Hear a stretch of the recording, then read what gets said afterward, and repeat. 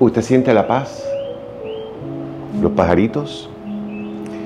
Esa es la paz que emana este espacio para yo estar centrado y poderme preparar para recibir mi invitado que va a agarrar esa paz y la va a echar a volar porque es una pelota de energía. Buenas, bienvenidos a un episodio más de este su podcast favorito. Comenzamos por siempre agradecer a esa gente que nos sintoniza, que nos escucha, que son nuestros suscriptores del canal. Gracias, porque cuando usted se suscribe al canal nos ayuda a que más personas se enteren de los amigos con los que estoy conversando. De modo que gracias. También agradecemos a la buena gente del Centro de Medicina Regenerativa. Aquí están los números. Siempre les digo, ellos son una opción para atender esa condición de salud que te deja inconforme, que no te deja dormir tranquilo, que el dolor no te permite manejar, llámanos y date una oportunidad. Estoy seguro que te va a encantar. Dicho eso, me estoy arreglando mi bigote porque hoy tengo un invitado que además de que es un personaje porque es un ser muy gracioso, eh, siento un gran respeto por él. Y lograr esto ha sido fantástico porque pues lo hemos tenido que coquetear con el tiempo. Aquí está, mira, mira, mira, mira, mira, mira, mira. Qué personaje con esa sonrisa que lo caracteriza. Usted acaba de cumplir años, felicidades. Gracias. Huele, huele a, huele a alegría. Claro. Huele a agradecimiento. sí, ¿verdad? Sí, tener la experiencia de vivir es maravilloso. Por tanto tiempo. Y sabes que, que porque todavía el cuerpo funciona. Sí, gracias a Dios. Entonces tenemos la energía y las ganas. Claro. Y, la, y los sueños de, chamaquitos. Claro, y las ganas, el entusiasmo es lo que nunca se debe perder. Por lo más que le rezo a, lo que yo creo, es que no, me, que no pierda nunca el entusiasmo. Pierdes el entusiasmo, se acabó. perdiste todo. Pero entonces todo eso conjuga con la sabiduría que trae el pelo blanco. Eh, y sí, y no, tener, no tenerle miedo, no, no abochornarse de tu color de pelo ni de, ni, de tu evolución, sino aceptarla, quererla. Y sabemos que los que son más jóvenes dicen, mira, esos viejos, pues sí, son más viejos, pero ellos son jóvenes, ya nosotros pasamos por ahí. Por eso, y donde te veo, donde me ves, te verás. yo le digo, esa película yo la vi y el pillo muere lo último. yo conozco el final. Muy bien, vamos a seguir este caballero porque hoy vamos a hacer este podcast. Porque ¿sabes lo que pasa? tanto tiempo, de verdad que esto ha tomado, ¿cuántos? Yo dos llevo años. ah, no, no. Yo conmigo, tú tratando de que yo. Dos años. Dos años, ¿verdad? Y pero nos cogió, la pandemia. pero nunca ha sido falta de ganas. No ha sido falta de, que la cosa no cuadraba, de que no se podía. Pero entonces, como tú eres un hombre tan especial, pues este podcast no lo voy a hacer en donde siempre lo hago. Lo vamos a hacer, aquí hay un escalón. Lo vamos a hacer en un estudio de la maestra Rina de Toledo. Entonces, tiene un hijo que le está haciendo honra a su DNA, tanto por su madre como por su padre. Eh, y la compañera es una mujer espectacular también. Entonces, todo lo que lo circunscribe es grande y poderoso. Tiene una sonrisa que queda amarrada a todos nosotros y yo creo que ahí está el encanto de por qué tanta gente lo quiere y lo adora y para mí es un honor y un placer poder decirles que mi invitado de hoy se llama El Señor Rafael José. Gracias, gracias Francisco, de verdad que por esas palabras. Eh, eh, esto es parte de, me honra mucho lo que, lo que tú dices, porque yo siempre quise ser artista, pero yo nunca me ha gustado ser estrella.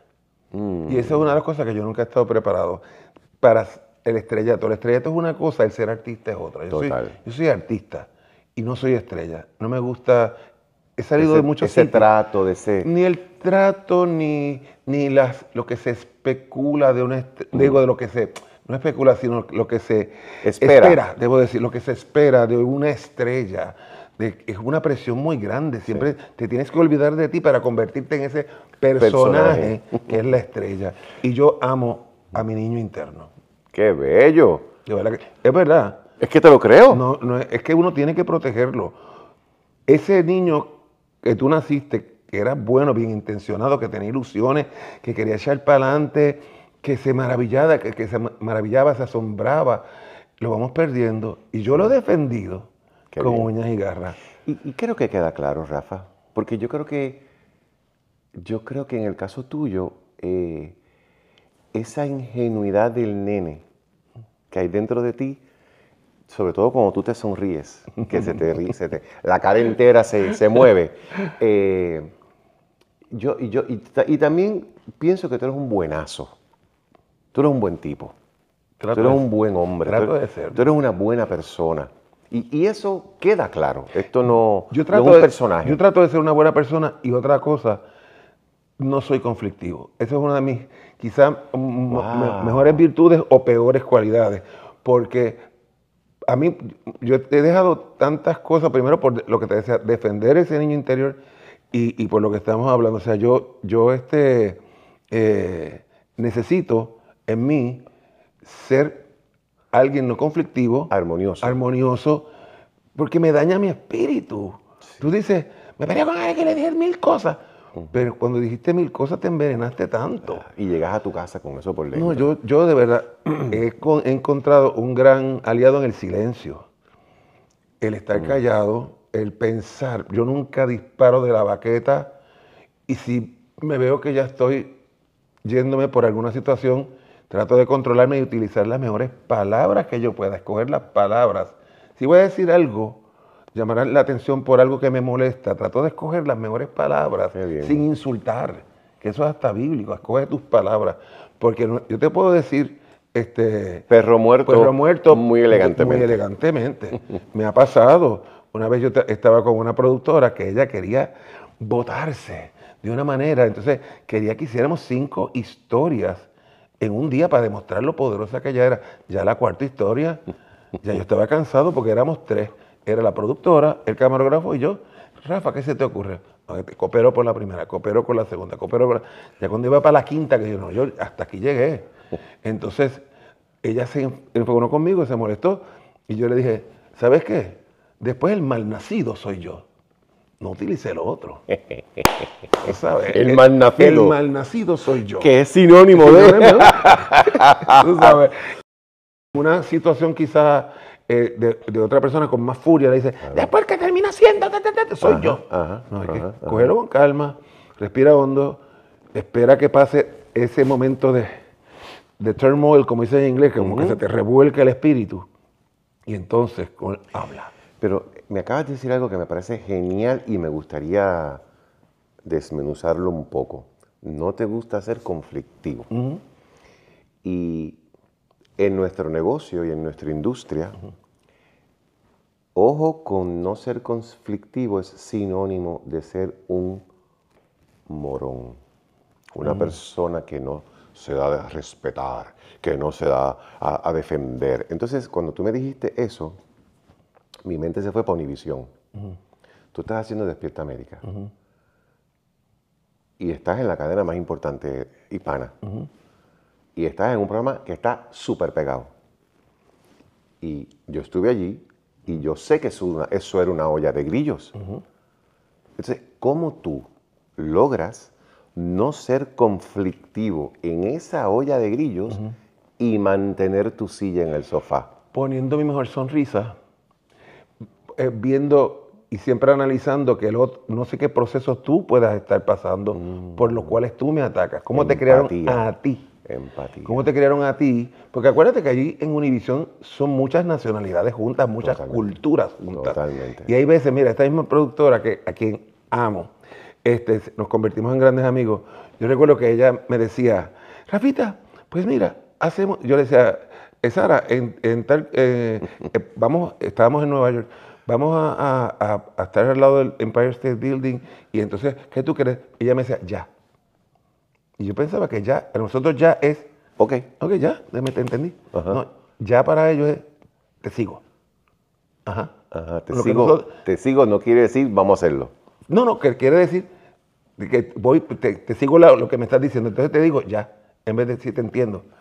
Te dice, ya, ah, ya, ya. Yo paro de hablar, ¿entendiste? Claro. había muchas culturas juntas allí. También esa, esa competencia de quién tiene más y medirte mm. por, tu, por, por, lo que tú tienes. Tú no puedes tener un carro modesto. No. No, tú eres una estrella. Tienes que tener, meterte en el Mercedes-Benz de la vida. Tú sabes que, te, metes, es una deuda. y, y, la gente está bien equivocada, pero los artistas los hacen muchas veces llegar a unos, unas posiciones económicas que luego pasan los años, cambian, venden el canal, venden la empresa y ese sueldo que tú tenías recurrente se cayó y te quedas con las deudas recurrentes. el Mercedes sigue ahí. El Mercedes sigue ahí, la casa lujosa sigue ahí y tú no tienes cómo pagarlo. Entonces, e, esa, esa, competencia me quitaba la paz. Mm. Cuando terminaron los primeros tres años de estar en Despierta América, yo fui el que me fui. Yo dije, yo no, no puedo. A mí ser conocido es chévere, me encanta la gente. Sí, claro. Pero yo, sal, mira, estando incluso viajando este, en un primer programa que yo hice para Univision que se llamaba De Película. Ok. Eh, eh, en, esos viajes yo me encerraba en mi cuarto. O sea, mi, mi, productora me decía, Rafa, vamos a salir esta noche. Yo no sé, no, yo me voy para el cuarto, mañana hay trabajo. Pero tú eres un aburrido, no soy aburrido, me gusta estar Descansar. En mi, no, en mi paz y tranquilidad. Y hablar conmigo y pensar conmigo. Y, yo me, me, entretengo más bien. No, yo te veo bastante saludable aquí arriba. Sí. ok, entonces entonces tú, de, eh, qué, fantástico, porque voy a aprovechar para contarle a la gente que yo tuve la oportunidad de ser invitado a Despierta América, eh, como era una mezcla de, yo creo que me estaban probando y me estaban midiendo mm. a ver qué yo podía hacer, porque yo me acuerdo que yo canté, me vestí de monja, me vestí de cura, hice 40 cosas en, eso, en Hay que perderle el miedo ridículo. Está bien, y yo, pero yo eso se lo perdí hace rato. Entonces, cuando a mí me, me llaman para hacer esto, estabas tú y estaba eh, Giselle. Fernando, y Giselle. Estaba Fernando. Eh, pero yo no conocía a Fernando, yo te conocí a ti y conocí a Giselle. Entonces yo entro a este estudio más embarrado. Yo iba tan asustado. Y tú llegas con esta energía tuya y tu sonrisa y buenos días y la cosa, que me acuerdo que había, había una persona con una bandejita como con unos shots de café. Ah, que eran, las coladas. ajá. Pero yo nunca he tomado eso. Pero ¿y todo el mundo se lo tomó? Sí. Y era parte como que del ritual y la cosa. Es que es un ritual, se puede llamar ritual, eso es cubano, se llama la colada. La colada. Entonces es un café tan y tan y tan y tan fuerte que tú no debes tomarte la taza ni el pocillo, tienes que tomarte un shot. Y ya. Y ya, porque tiene toda la cafeína del mundo. Exacto. ¿Y eso te levanta o te levanta? Yo, pero yo de exagerado sí me tomaba la colada completa. Porque ah. te digo una cosa, levantarte a las 4 de la mañana y en aquel tiempo no era una cuestión de levantarte, todo estaba servido o que te llegara toda la información por internet, no. no. Tú tenías que llegar a las 4 y 20 allí, a meterte a la computadora y a buscar en, las diferentes, como la agencia francesa de noticias, F, en Reuters, buscar noticias que eran lo que íbamos a decir en el programa, porque habían Despierta América empezó con cuatro gatos, literal. Éramos los dos productores, la ejecutiva, el que estaba eh, por encima, que era el jefe de producciones en general. Dos muchachas eran productoras, lo que llaman line producers, productoras de línea, de segmentos, y una productora general. Eso era lo que habíamos, y los cuatro talentos, para un programa nacional. Imagínate tú. Esas muchachas terminaban todos los días llorando por la presión de hacer ese programa de tres horas. Imagínate. Éramos bien poquitos, entonces ahí este, era muy diferente a lo que, a lo que se vive ahora. Claro. Tú sabes. Y entonces tú tenías que tener tu shot de café. Si no, no, arrancaba. No arrancaba y te dabas otro allí. Y yo, por exagerado, me metía colada completa. Después estaba así de los nervios, no podía dormir por pues la noche. entonces yo entro al estudio, me ofrecen eh, la mi shot, exactamente. Y yo me acuerdo que tú entraste, Rafa, y tú, ¿verdad? Se ilumina ese estudio con tu llegada y con tu energía y tu flow. Y yo con esta cara de embarrado, te digo, dime algo, ¿qué hago? Y tú dijiste, así con esa sonrisa que te caracteriza, sé tú, fluye. Yo me imagino que tú no te vas a acordar, pero eso fue lo que tú me pero, dijiste. ¿Sabes que Ahora que lo dices, es, mi filosofía. Yo estoy clarísimo. Porque ¿sabes qué pasa? A mí cuando yo empiezo en la animación, yo nunca pensé que yo podía animar. Me imagino. Eh, fue Don Luis Vigoro Padre, que me invita en 1981 a participar de un programa que se llamaba A Millón con Vigoró. Ah, wow. Que iba a ser ese programa, se iba a llamar A Millón con Vigoró. Y estando yo haciendo una novela en Guapa, se llama Vivir para ti, estábamos en el Camerino Los Hombres y Luis me toca y me dice, Rafa, ¿te quieres ganar unos chavitos conmigo? ¿Haciendo qué? Claro. Mira, y me explicó, y yo nunca he hecho eso. No te preocupes, yo quiero que tú seas mi coanfitrión. Pero ocurrieron los sucesos, él nunca pudo hacerlo, pues, pues, lamentablemente falleció. Y entonces me tocó hacerlo con, con Héctor Marcano. Yo me dije, ok, yo nunca he hecho esto. Yo siempre recordaba que en las parrandas, en Mayagüez, yo era el que sostenía la parranda viva. Y toque, toque, toque, toque. Siempre buscaba una cosa para que nunca se cayera la parranda. Y pues yo voy a hacer lo mismo. Yo voy a hacer yo, lo que yo entiendo que yo puedo hacer. Aquello no había libreto. Claro. Había un rundown, pero no había libreto. Era con, todavía con el micrófono de cable. Claro. Y, este, y yo dije, no me queda de otra que ser yo. Porque si yo soy yo y me quieren como yo soy, pues entonces estoy hecho. Si monto un personaje y no lo puedo sostener, la gente se va a llevar que ese no soy yo. Yo estoy tratando de ser el, el comiquito, el que es. No, yo saco, si tengo una gracia natural, pues la gracia natural que pueda llegar. Entonces yo entiendo que te tengo que haber dicho eso. Eso fue lo que me dijiste. sé tú, porque te quitas un problema brutal de encima. Bien heavy. Eres tú. Y, quiero que, sepas que no te creas que yo entendí lo que significa sé tú mm. en ese momento, porque yo dije, sé yo, pero si yo, si yo no, si yo soy una, yo, soy todavía estoy en desarrollo, yo estoy en embrión, yo no sé nada todavía. Pero, pero lo que me fortaleció de tu línea fue esa sensación de sé quién tú eres y fluye. Y volví como, como, tres o cuatro veces más, de me siguieron llamando. Eh, y lo que quiero que sepas, y, y, esto ya te lo dije hace un par de meses que estuvimos en un evento juntos, que yo realmente te agradezco mucho esas palabras. Porque, eh, porque siempre he sentido un gran respeto por ti.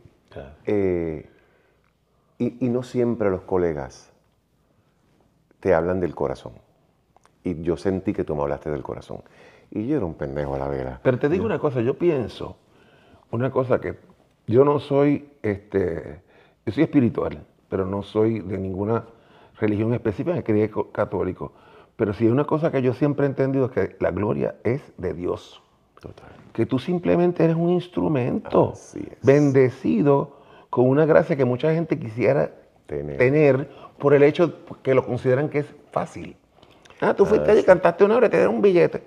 ¿Entiendes? Sí, suena muy fácil. Suena bien fácil. Suena como que, ¿sabes? Igual fuiste allí, animaste dos horas y ya, saliste. Tienes el día para ti.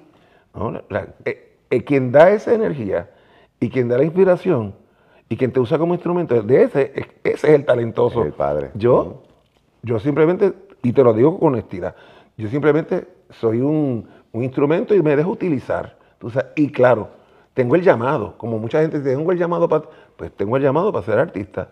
Yo estudié odontología, me gradué de doctor en medicina dental, pero básicamente fue para, para complacer a mis padres, a quienes les agradezco que me hayan hecho estudiar, porque aprendí mucha metodología y tú aprendes cómo organizar las cosas. El, el dentista es el médico que más uno de los médicos que brega con la intimidad física de una persona, que es la boca. Quien entrar a tu boca es bien, y convencerte, es un área muy sensitiva. Entonces eso me enseñó a aplicar lo mismo con el público. Qué bello. Cómo tratar al público como si fuera mi paciente, cómo ganarme la confianza, siéntate por aquí, no te va a pasar nada, y mostrar tu, autenticidad y darle wow. paz. ¿Entiendes? Entonces, ya, ya, que me, ya que tocas ese tema, háblame de mamá, papá, cuántos hermanos, qué número tú haces, a qué se dedica papá, a qué se dedica mamá. Háblame de ese entorno. Mira, mi padre y mi madre. Tú eres de Mayagüez. Yo nací en Manatí. Ah. Nací. No, no creo que estuve ni dos o tres meses viviendo allí. Y luego pasé, papi, estuvo, eh, papi era médico. Ah, okay. Y mi mamá ama de casa. Entonces, ahí papi estaba haciendo una especialización en neumología. Ouch. Y fuimos a vivir a Staten Island, en New York. Ya. De ahí, pero yo era un bebé. Pero de ahí, de ahí, de inglés. No, no, nada. nada. te digo, yo regresé de esta Aire, lo recuerdo por foto. Mm. Mami conmigo en el parque, en cinta de mi segundo hermano, qué sé yo. Después cuando yo llego a algún tipo de conciencia, ya yo estaba en Mayagüez. Ya. Ya estaba en Mayagüez, entonces toda la vida me crié. Y decía Margarita Yursenar, que es la primera mujer que estuvo en la Academia de la Lengua Francesa, que uno nace donde tuvo su primer pensamiento inteligente. Wow. Y Mayagüez es el sitio donde yo tuve mi primer pensamiento inteligente. Qué hermoso. Yo nací ahí. ¡Qué belleza! ok, sí, ¿cuántos hermanos son? Hermanos somos cuatro. ¿Y, tú qué número haces? Yo hago el dos, el segundo. Ya. Pero mi hermano mayor es hermano que, se, que, de otra relación de mi padre. Ah, ok. Yo soy el primero de mi mamá. De tu madre. Pero que nos criamos los cuatro como hermanos, hermanos, porque éramos hijos del mismo padre y mami. Todos éramos en casa, recibimos el mismo amor, los mismos cuidados, no había diferencia.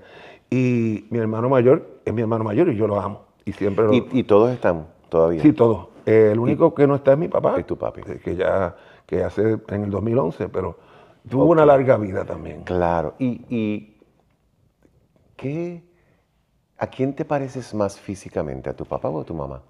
Yo ahora que estoy más viejo me parezco a papi. Hay veces que me miro y se me pongo unos espejuelos, digo, mira papi ahí. Yo soy mi padre, full.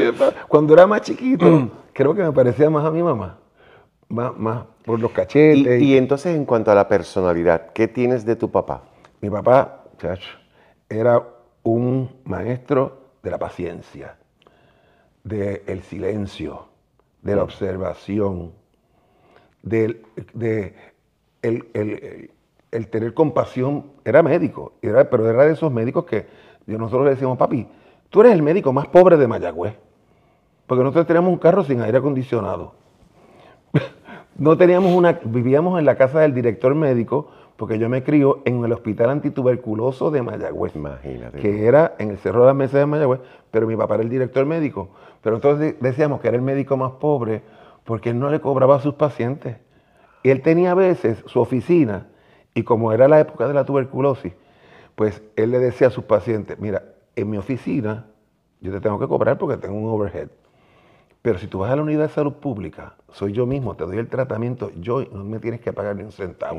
Le daba esa este, eh, oportunidad al paciente. eso habla, de, eso habla del corazón. Del corazón, era un hombre sumamente eh, noble, eh, que ayudó a mucha gente sin, sin decirlo.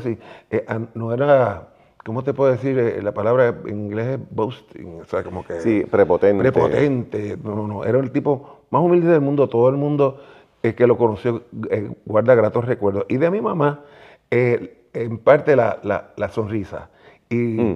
y, la personalidad y, y, ¿qué te puedo decir? El, observar, porque tú sabes que las, de las madres aprendemos a observar, porque ellas están pendientes a todo lo que está pasando, de, proteger, me, me hace sentir siempre muy protegido, no sobreprotegido, pero muy protegido y velaba mm. cualquier cosa. Y de ella yo creo que yo aprendí, porque a veces mi hijo me dice, ay María, tata, saliste ahí, porque le dice tata a, la abuela. A la abuela. o sea, ya salió tata por ahí, me parezco en ella. Y, el, y, la, y la vena musical y la voz.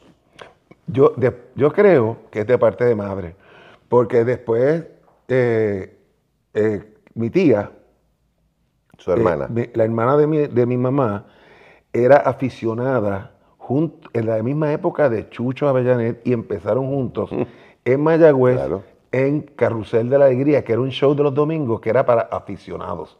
Y todos los que querían salir en televisión queríamos estar ahí. Mi tía me lleva a mí de chiquito a un programa y fue el error más grande que pudo haber hecho porque dije, yo quiero hacer esto porque ella me metió en los camerinos y ver el revuelo de los camerinos, los artistas cambiándose. Era la época de, los trajes sirena y todas aquellas mujeres de lentejuela. Con esa cinturita. la gente se cree que el bling bling es de ahora. No, la época de la lentejuela, tú sabes, era bling bling también. Era el bling bling de la época. Yo ver aquello, ver, para mí fue una maravilla. Las cámaras eran como del tamaño de ese mueble. Casi un carro. Sí, casi un carro. Una motora. Y ahí fue donde por primera vez mi tía cantaba y fue la que me hizo sentir el amor por la música. Papi. ¿Y el oído musical? El oído musical, mi papá nos puso siempre a, estudiar música. Yo no aprendí porque no tengo paciencia. No aprendí nunca, el solfeo me sacaba, me mataba, no podía con esto, do, re, mi, fa, sol, yo nunca pude. Este, pero papi siempre nos, decía que había que aprender música. Entonces, eh, oyendo a mi tía y sabiendo de, que el carácter de ella, y ella me, me escuchaba cantar en el baño y me corregía. Y me corregía.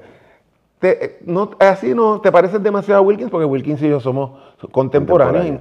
la familia de Mayagüez, todo el mundo se conoce. Claro. Este, y ese fue, o sea que Wilkins es un ser que yo le agradezco mucho, poca gente lo sabe. Él me, yo no tenía pistas, había que tener pistas para poder dar, destacarte, cantar, salir. Wilkins me regaló las pistas de su primer disco para que yo pudiese cantar. Imagínate que es un, desprendimiento de alguien que potencialmente puede ser tu competencia y tú simplemente dices, mira, este es para ti. Y, este, y hubo mucho, y Mayagüez, Mayagüez en realidad es un, pueblo muy musical. Oh, sí, una de gente. ¿Y nunca tomaste clases de canto? Tomé, pero ya tarde, y, pocas, porque fue que eh, me invitaron eh, a hacer la zarzuela El Cafetal. Mm. Creo que probarte lírico. probarte lírico hacer la, la zarzuela del cafetal de Ernesto Lecuona. Te dije, no, o sea, yo siempre que voy a hacer algo nuevo, Te preparas. me preparo. No, yo no voy a quedar aquí con nada, nada, nada. La OTI fue igual, pero esto fue después de la OTI. Entonces yo fui con Darisabel Isales, que en paz descanse, y ella hizo un trabajo conmigo espectacular, espectacular. Me enseñó técnicas, que todavía las uso. Yo sé. Técnicas. Y no, tuve, no estuve mucho tiempo, estuve yendo a las clases durante antes y durante la zarzuela. Exacto, los ensayos. Para, tener la voz bien grande, amplia y bien grande, porque tenías que en la zarzuela no se canta con micrófono. No sé, Hay unos microfonitos quizá en el piso. Esto es a viva voce. A viva voce por ahí para abajo en el tapio. Y yo pensaría, fíjate, tú nunca pensaste que pudieras haber tenido una voz lírica. Mi papá, cuando yo vieron que, que yo quería ser cantante, sí tuvimos conversaciones, si vas, si vas a ser el cantante, tienes que aprender música, tienes que ir al conservatorio, o sea, ya él está. Pero mi mamá, por su parte, también lo presionaba mucho porque ese muchacho, cantante, Dios mío, ¿qué futuro va a tener? Él va a tener que mantener una familia y como cantante, ellos se mueren de hambre, terminan en la droga. Entonces, todo ese tipo de cosas. Entonces, papi buscó, porque era salomónico, buscó un punto medio. Y en una de las conversaciones, me convenció de que por qué yo no estudiaba odontología, porque podía tener mucha más eh, probabilidad de ser aceptado en Puerto Rico y quedarme aquí. Porque la otra era irme a República Dominicana, que mucha gente iba y estudiaba, porque el recinto de ciencias médicas tenía que tener uno, tenías que tener un, uno, unas notas una nota casi de, de, A todas, y yo era un estudiante de B, C, por ahí. Entonces, yo más o menos me puso más, un poco la presión de, pues, ok. Y no recuerdo de qué manera, yo sé que yo terminé cogiendo el examen, vine de Mayagüez a coger el examen de entrada al recinto de ciencias médicas. Y vine con amigos, fue, pasamos divinamente bien. Él quería estudiar odontología. Yo, yo nunca había entrado a una oficina de un dentista en, mi vida. ¿En serio? En mi vida. Y ya estaba tomando el examen y entré a la escuela sin haber entrado a una oficina dental. Yo entré Ah, bueno, esta es la estación espacial, entra y brega ahí dentro.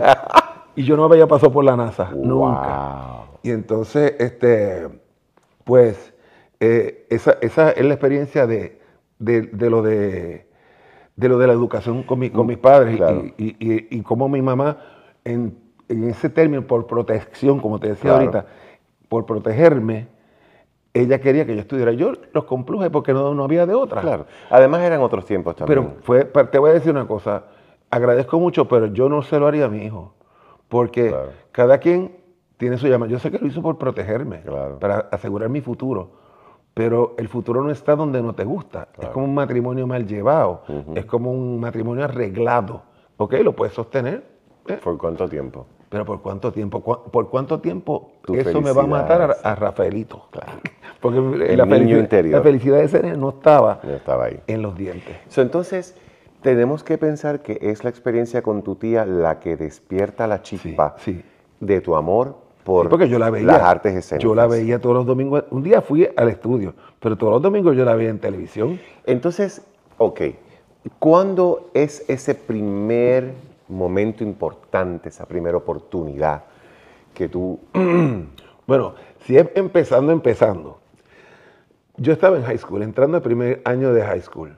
Y por alguna razón, yo estaba en una escuela privada de católica de, de monjas, ¿verdad? Y, y, por alguna razón, a Sister Mary Ronald.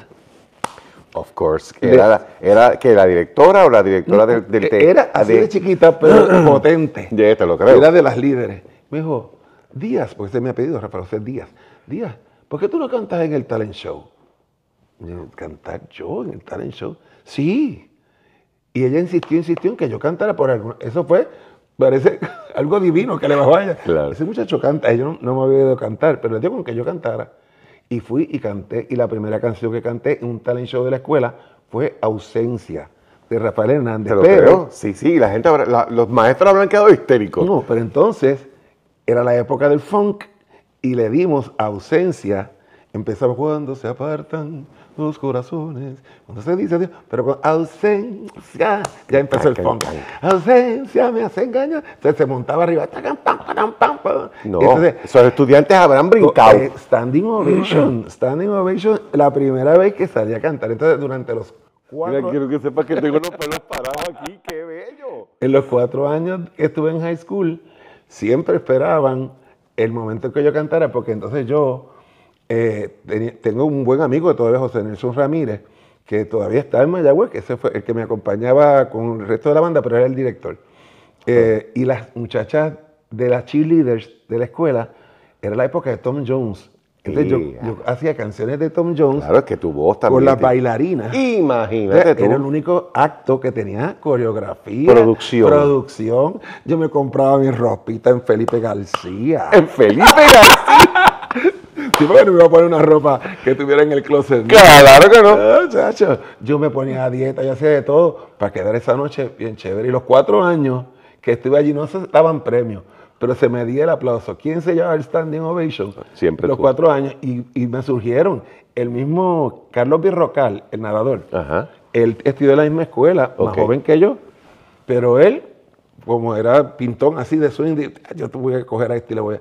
Chacho, me preparé bien tatán, afuera, para, caballo. Para la piscina. Váyase a nadar. Déjeme el, déjeme el escenario. El escenario es mío, la piscina es suya. Ah, o sea que escuela superior, ahí tú empezaste a saborear. Sí, y entonces, estando en escuela superior, ya yo empecé a cantar también con, con bandas, porque antes no había... Sí, bandas de los panitas de Porque antes no había discoteca. No, no. Habían... Disco Paris. Disco Paris no, Disco Party tampoco, antes Aranas, ah, que era donde eran orquestas. Ah, Entonces tú estabas con tu orquesta local, yo mm. alterné con la Sonora Ponceña, con Richie Ray Bobby Cruz, cuando estaban bien pegados en la zafra, ya comenzó, negro fila, tu machete. Cuando ellos estaban bien pegados, mi bandita, pero mi bandita no se quedó atrás. Mi bandita estaba Néstor Torres, el flautista, ah, estaba Jerry Medina, que también es cantante de, de Dios mío, el, grupo Tierrazo de, Fran Ferrer, pero tiene nombre, pero eh, Jerry Medina era el cantante, otro de los, me hacía coro y tocaba trompeta. Y el resto eran, que son profesores ahora de diferentes universidades, y el baterista es el, cardiólogo Carlos Rosario de Mayagüez. Así que, pero ¿qué pasa? El cuento es larguísimo, es larguísimo. La cosa es que yo estoy cantando un día en un concurso de mis Mayagüez, en Mayagüez Mall, y estaba Tite Cura de Alonso porque Tite respaldaba la carrera también de Wilkins y Wilkins iba a hacer el show, pero antes entré yo. Y mm. pues dejé la pista caliente. Y entonces Curet mismo me contó, eh, Wilkins, tú vas a cantar después del monstruo ese. y le dijo a Wilkins, sí. Y entonces, esto de lo que estoy contando aquí, pero no, no casi lo he contado a nadie. Y entonces Curet me, me habló conmigo y me contactó con Sergio Ballesteros. Ay, mire, me acordé. Sergio Ballesteros. ¿What? ¿Hace cuántos años yo no escucho ese nombre? Él, él tenía, era de una de estas multinacionales que empezó a llegar a Puerto Rico, que no era Alhambra Records ni nada. Una de Poly Something me llevó allí. Allí conozco a Frank Ferrer, Y Frank sí que se encarga de hacerme mi primer disco, mis primeras producciones. Y este, ¿Qué año es este? 1973, 74, por ahí. Mm. Sí, pero cuando realmente yo vine, a, de ahí es que yo empiezo a contar mis años en la industria, es desde el 76 cuando por primera vez salí en el show de Iris Chacón. Previo había salido en el segmento que nunca lo olvidaré, que hubo un señor de Mayagüez que me, invitó a venir al show de Carmita Jiménez, al segmento de Carmita Jiménez, que siempre tenía gente que estaba, los aficionados, gente, dándole oportunidad a los nuevos, talento nuevo. Pero yo llegué a cantar con la Panamericana, ¿verdad? Sin arreglo. Me dijeron que venir a cantar sin arreglo ni nada. Carmita fue tan gentil que ella tenía, y tuve la bendición de que un número eh, que se llamaba Ahora que soy libre, ahora que, ahora que soy libre como antes, esa canción Carmita la cantaba en un tono arriba y me quedaba perfecto en el tono de abajo a mí. Claro. Y la ensayé un par de veces con Cuquito, con el maestro Cuquito Meléndez. Este, la ensayé un par de veces y la canté con la Panamericana. Y esa fue mi, primera presentación a nivel Puerto Rico completo, pero donde realmente explotó duro fue con Iris Chacón. Me presenté con Iris, al presentarme con ella, se dio esta cosa fantástica de yo estar en casa y papi llegar y decirme, oye, me llamaron unos señores del club que se llama Ocho Puertas, que quieren tenerte a ti. Es, eh, Bernie llamaron a la telefónica de Mayagüez. Imagínate tú. Qué fuerte. Y se identificaron, mira, estamos hay un muchacho que cantó en el show de Chacón, lo estamos buscando. Ah, sí, él es hijo del doctor Díaz Martínez. Pan, le dieron el teléfono de la oficina de papi, hablaron con papi, papi me lo dijo a mí. Y vine y canté en ese primer show de Iris. De ese primer show de Iris pasé a hacer coro en tu boquita. Si tu boquita fue, bate, el bate que bate, se oye bien, somos Dagmar, una muchacha llamada Lori, y yo somos los, éramos el coro de Iris Chacón en el 76, en el Caribe Hilton.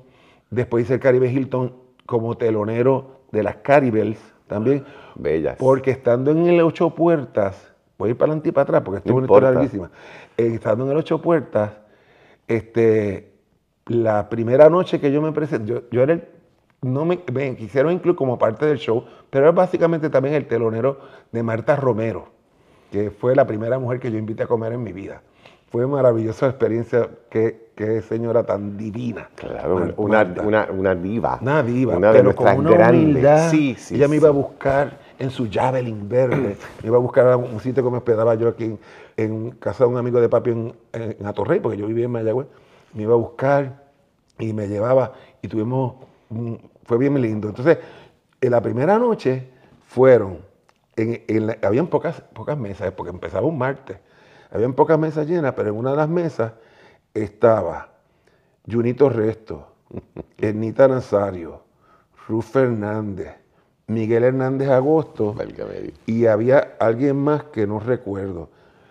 Y eh, en una mesa, porque en el ocho puertas tú no veías que era oscuro y tú no veías, en la otra mesa cuando me vengo estaba toda mi familia sentada mi papá, mi mamá, mi hermano. Que tú no sabías que venían. Que no sabía, de sorpresa, porque ellos velaban. Hombre, ah, hay que cuidar al nene. Cuidar al nene y que no vayan a venderme gato por liebre y llenarte la cabeza de Claro, y en Mayagüez tú hablas del ocho puertas en San Juan y la gente, bueno, no, hasta que no lo vea, no sé. Sí. Pero entonces, allí en el ocho puertas, me fue a ver René de la Cruz. René de la Cruz, de, la Cruz de la Cruz, sí, René. Y Zulma, su esposa. Claro, pero que eran chamaquitos. Eran chamaquitos, pero ya René manejaba la, creo que manejaba la cuenta de Eastern Airlines, mm. que era los que producían Noche de Gala.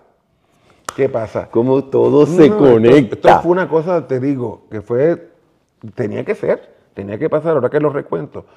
Este, René de la Cruz y, Paquito y su esposa no, fueron a ver a Ernita presentándose en el club, en el club Cerromar cuando salen, tú sabes que el Club Cerro Mar, pues era el show era como con cena, show, y como a las 10, 10 y media tú te ibas. Pero la gente seguía entonces para el viejo San Juan.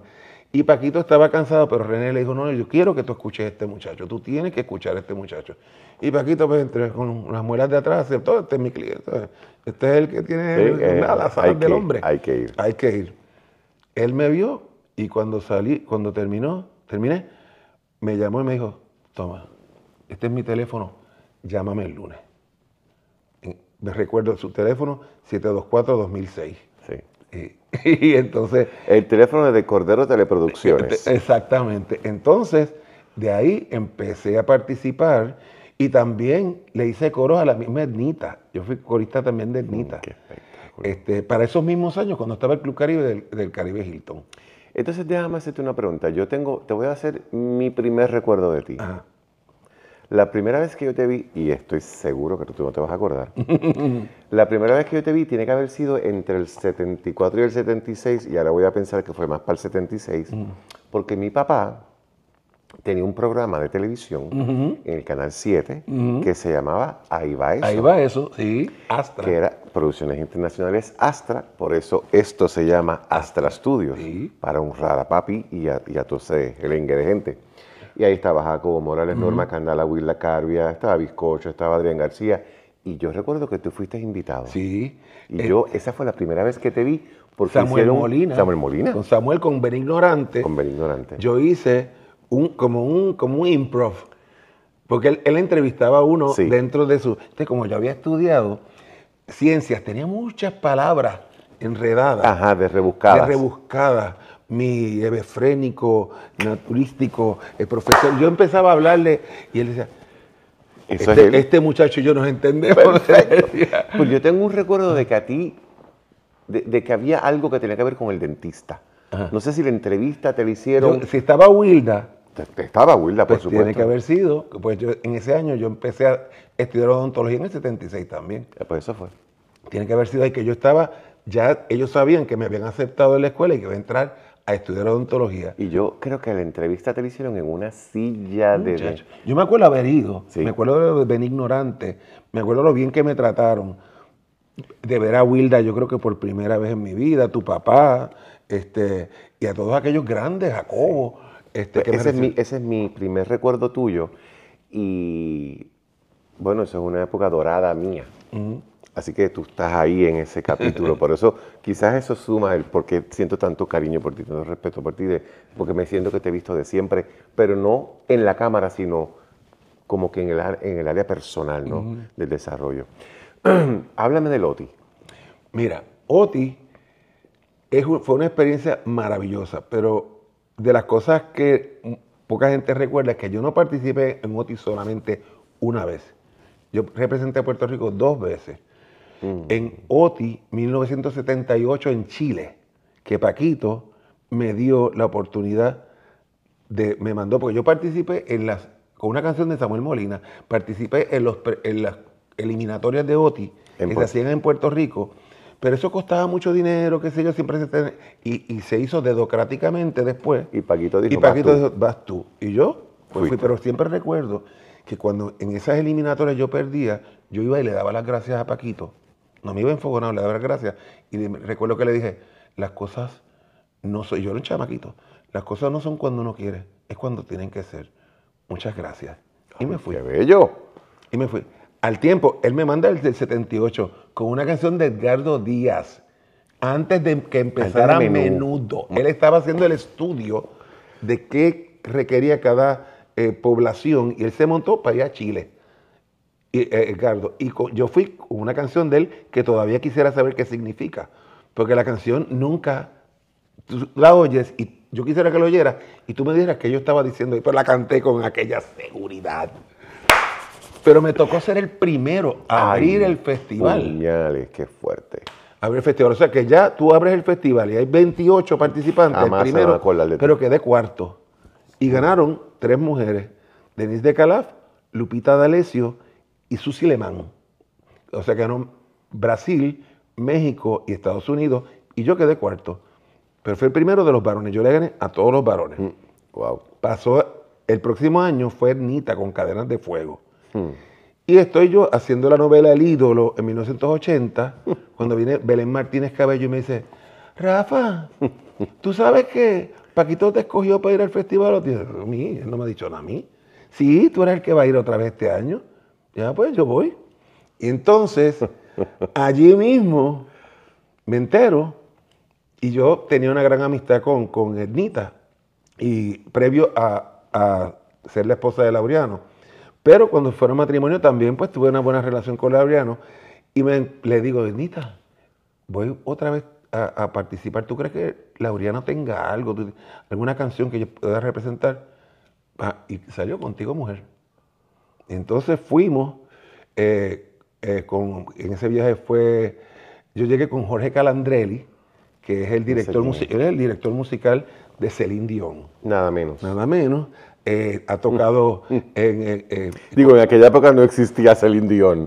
No existía todavía. todavía, pero ya le había hecho los discos de la Fania, los discos románticos de la ah, Fania, porque era argentino también, este, Jorge Calandrelli. Ahora mismo estuvo, te puedo decir, que ha estado con los grandes de grandes.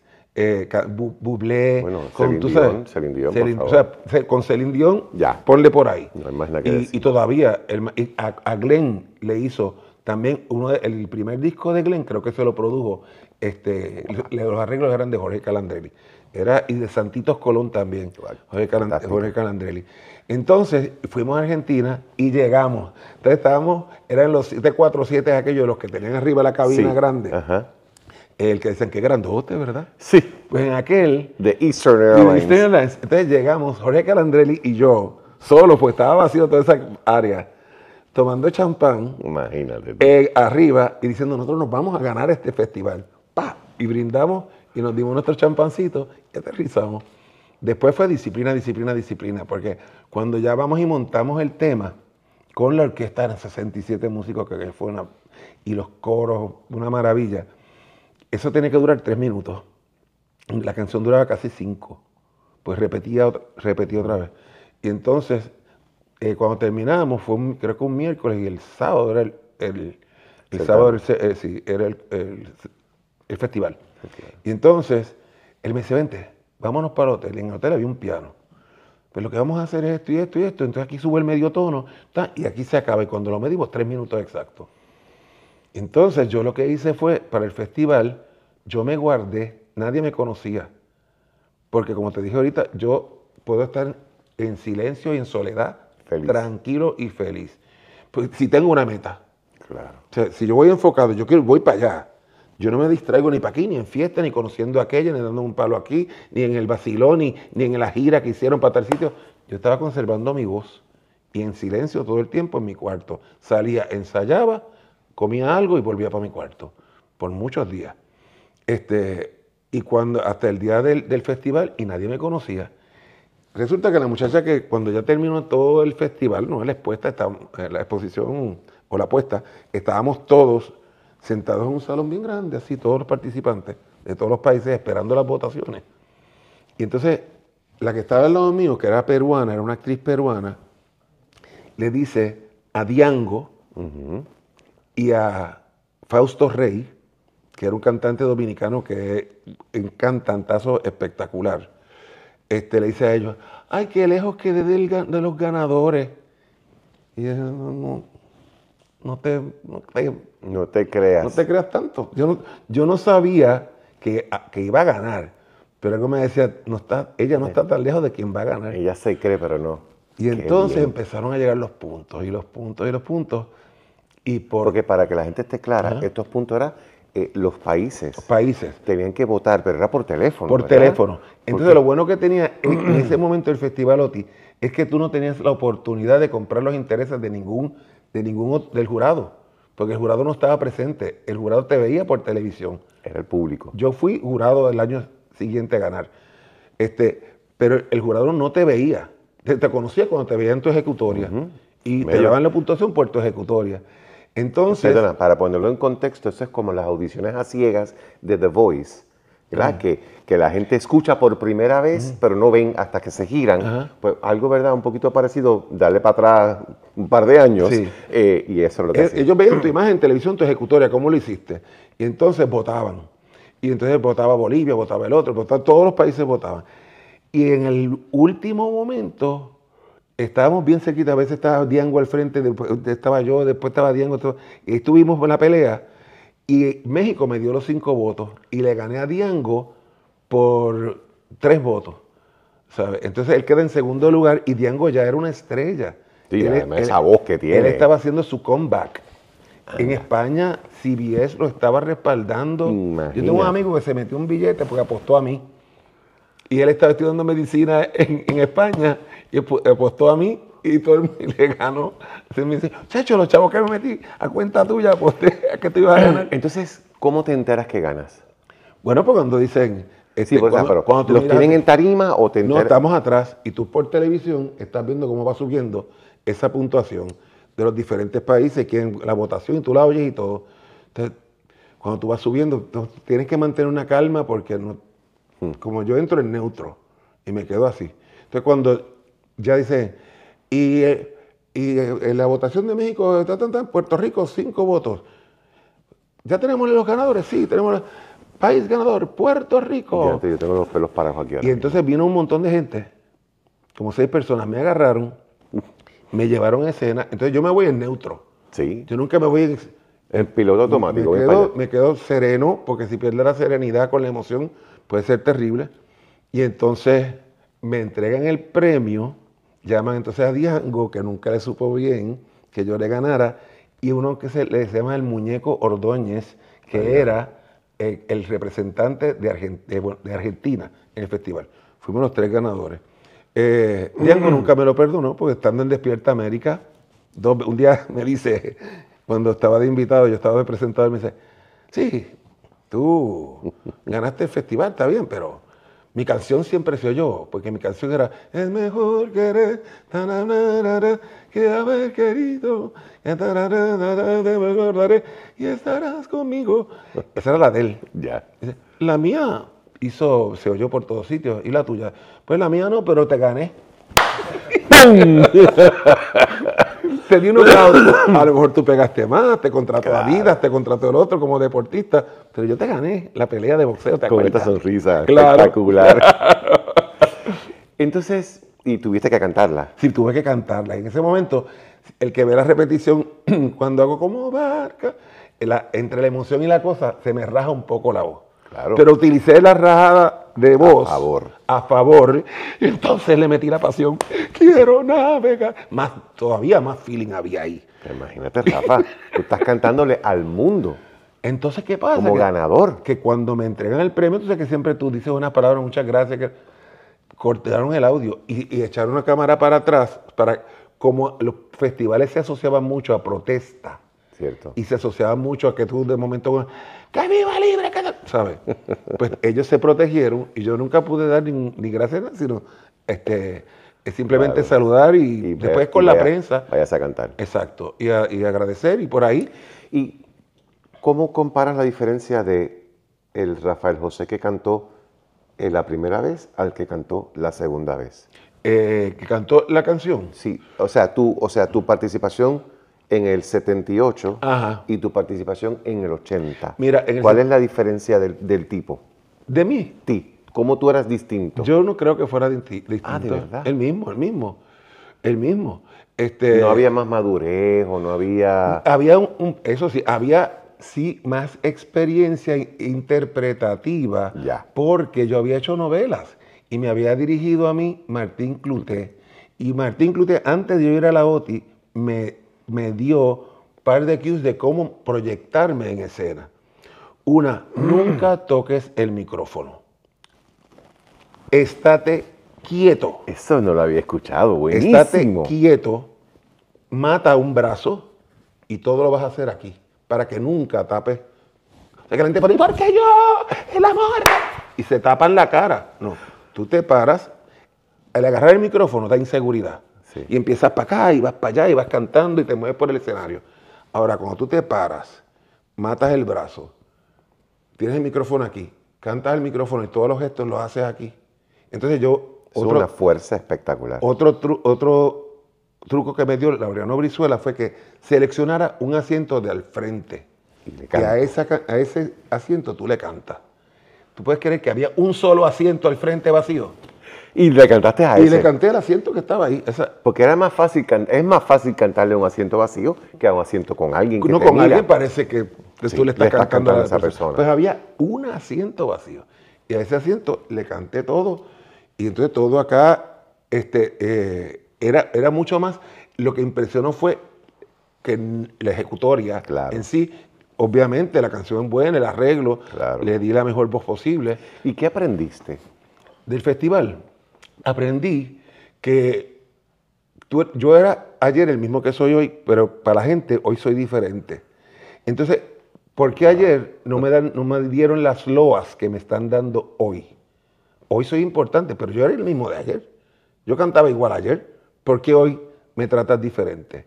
Entonces eh, aprendí eso de que no te puedes creer la fama. Tú sabes, porque si yo era el mismo. Espectáculo, pero qué espectáculo de elección. Déjame pararme un momento. porque es que me lo acabas de. lo, que tú me estás diciendo, yo lo conozco y lo vivo. Pero tú lo acabas de verbalizar de una forma que me parece espectacular. Y lo voy a repetir para ver si lo entendí correctamente. Yo, yo soy el mismo antes de ganar y después de ganar. So, lo que ha cambiado es la percepción de la gente. Exacto. No yo. ¿Y por qué me percibes diferente? Porque gané. Exacto. ¿Por qué me percibes Pues entonces no te creas la movie. Yo, no te creas la movie porque yo, yo tenía para pedir por esa boca. Lo que yo quisiera, me lo conseguían. Porque había ganado. Tú sabes. Y esto no es de verdad. Porque yo era el mismo ayer. Wow, Rafa, qué bello. Qué, espectáculo, eso está espectacular, de verdad. De, eso está espectacular. Qué bien, qué fantástico. Entonces, tú lo has hecho básicamente todo. Sí, me he atrevido. Donde, yo piense, donde me ofrezcan la oportunidad, partiendo siempre de mi autenticidad, de que yo soy yo, este, yo me he atrevido a hacer otras cosas. Presentador de televisión, siendo yo. Claro. Claro, tengo que agradecer mucho, una vez te repito, la educación que tuve, porque me dio mucho método, me dio conocimiento, me dio el, eh, elocuencia, puedo, ver otras partes, entonces eso lo puedo adoptar tanto para animación, porque animación es una cosa y presentar, presentador es otra cosa. A mí no me gusta que cuando estoy de presentador me digan, el animador de esto, no Animador viene de ánima, del alma, de que tú alegras el alma. En Amillón yo era animador. Me metí en el pobre Amillón, Amillón, eh, eh. Eso es animar. Programas de juego, eso, animación. Pero presentar es esto que tú estás haciendo ahora, lo que estamos compartiendo. Eh, tú presentas al público con tu gracia, ¿verdad? Porque muchas veces que yo tengo cosas escritas en pronter, pero le hago mis pausas. Por favor. Le meto un poquito de mi... De tu cosa. o, lo que estoy leyendo, lo reinterpreto en mi mente y digo, esto lo voy a decir así, pero eso ocurre en, eh, fracciones, de segundo. y entonces eh, eh, me he atrevido siendo auténtico. ¿Y qué te falta por hacer? ¿Qué no has hecho y te gustaría hacer? Fíjate. Porque hasta una película hiciste. He hecho dos películas. Exacto no es de Hollywood. Pero, pero es la experiencia de la película, te digo. Es otra cosa. Yo imagino que es, otro es aprender eh, a, hacer este. Me faltaba hacer cine, este, realmente. Y a veces me pongo a pensar, no, no, yo creo que hay cosas que sí me faltan por hacer. Pero no las tengo como que en el bucket list. Ya. Del bucket list, ya yo creo que todas las cosas artísticas importantes que yo he soñado hacer, ¿sabes Dios que otra puerta se abre? Que yo desconozco. Claro. es la voluntad del Padre. Este, cosas que yo desconozco que pueda que me puedan tener debajo de la manga. Lo que estoy haciendo actualmente. Claro. Que es en el canal 6 que me tiene enamorado. Porque es un programa matutino que yo me juré nunca más volver a trabajar por las mañanas, porque el que madruga Dios lo arruga. no, yo pensaba que era que Dios lo ayuda. No, Dios lo arruga. Ah, Parece que por la noche te hacen así. y momento te levantas a las 4 de la mañana. Horrible. Y me juré que nunca más lo iba a hacer. Pero eh, para, yo creo que una cosa que yo sí quiero hacer es dejar algún tipo de legado ¿sabes? Pero ya lo estás dejando. Sí, pero algún tipo de legado en un, en un lugar donde no tenga el compromiso comercial, ¿entiendes? Mm. Porque hay cosas que cuando tú estás en la televisión comercial, Te quedan, no te quedan de otra. no te queda de otra que decirla, hacerla, callar, eh, o eh, hay mucho ego envuelto en las cosas comerciales y, y es más difícil. Ahora estoy con una excelente amiga del alma, Linet Torres. Imagínate. Estoy conociendo a una chica que me parece que es súper talentosa, impresionantemente talentosa, como presentadora, reportera y hasta animadora, que es Anushka Medina. Y estoy en el canal y me permiten ser yo. Ellos me invitaron, o sea, yo acepté estar porque me dijeron, esto es tuyo.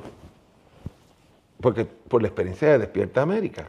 Porque Despierta América sí me abrió en un respeto en los demás, en la percepción de los demás. Este hizo Despierta América y en, en Despierta América yo aprendí mucho. Aprendí con, con mi productora ejecutiva, Mari García Márquez, Sí, que- bella. que era una Esta fue la que me llevó a mí. Ex- Exacto, José Pérez, José que Pérez. era puertorriqueño, También. que es puertorriqueño y fue uno de los creadores de Despierta América. este, y de ellos aprendí mucho. ¿En qué foro tú dices un chiste? Por ejemplo, tú no puedes decir un chiste en cualquier horario del día. Por ejemplo, cuando estábamos empezando, estaba pegada la novela Luz Clarita. Entonces, y yo le hicimos un paso de comedia entre Fernando y yo que se llama Luz Oscurita. Entonces yo era luz clarita, pero prieta. Claro. Entonces lo que decía, eh, me, me tenía que poner como un croma, cosa de que el pelito de luz clarita me quedara aquí. Le hicimos un opening, qué sé yo. Este, pero dije, eh, y a mí me gusta eh, Cosita, que era la perrita, porque es como yo, bien perra. Y entonces, todo el mundo se rió y que. Cuando termino, me dijo, José me llamó, Rafa, el chiste estuvo espectacular, pero no es el foro. Tienes, tú tienes que escoger dónde dices tu chiste, tu comentario. Ah, también, si ya pasó el momento de hacer el comentario, no lo vuelvas a traer. Te lo tienes que tragar y olvidarte de eso y vamos para el Síguelo, próximo. síguelo. Porque hay gente que ya la conversación siguió Y quiere virar quieren para poner atrás. el... ¿Te gustó? Mira qué bueno estuvo el chiste. La perrita. La perrita que no-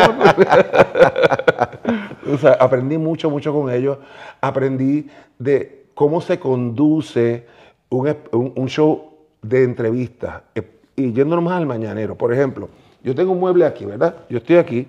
Si yo voy a hablar contigo, yo no necesito sentar a alguien que no vaya a hablar, no vaya a hablar nada aquí. Y hay gente que quiere ir porque lo vean en televisión. Y yo a eso me opongo porque son floreros, no hacen nada.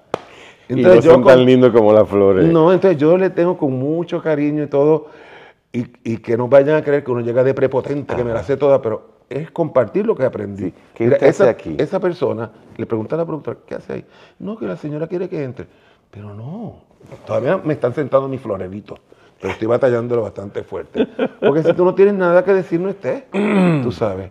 Este, ¿Cómo hacer el paso a noticias? a la próxima noticia. De momento tú estás en un chiste bien brutal aquí y lo próximo que te sale, se murió, no sé qué, en la última hora se acaba de ¿Y morir. cómo- ajá, y ¿Cómo cómo tú haces esa transicionas? transición? Y entonces sigues aquí en el chiste. y bueno, señores, y, y lamentablemente tenemos que, dentro de todo, ¿verdad? Porque en la vida, eh, pero dar el- el- la triste noticia de que nos ha llegado y cambiar poco a poco, ir haciendo como el ocaso, Sí, tú sabes, sí, uh. hasta que se convierte en la noche, ir bajando, hacer un atardecer y entonces entras en tu, en tu próxima noticia.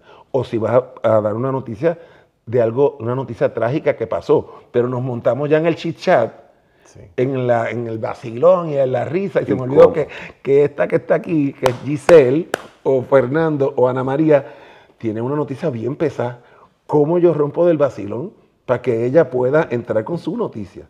O sea, es todo ese tipo de dinámica. Pero eso, eso, no se, eso no se aprende en ninguna escuela. no, eso es en haciéndolo. vivo.